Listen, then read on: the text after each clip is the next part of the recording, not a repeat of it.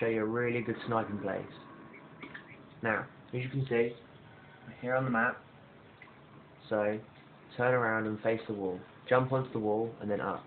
Past the tree and keep walking until you get to the foliage at the end. Now there's a lot of grass and stuff, so you've got good cover, but people can see you from behind, so beware.